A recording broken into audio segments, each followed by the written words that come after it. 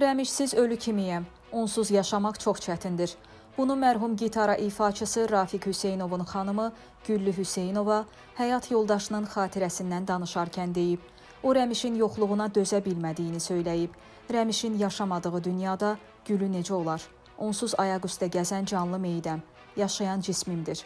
Hələ də özümə gələ bilməmişəm. Buna görə də yoldaşımla bağlı çəkilişlərə, müsahibələrə razılıq verə bilmirəm. Rəmiş haqqında keçmiş zamanda danışmaq mənə əzaba bərabərdir.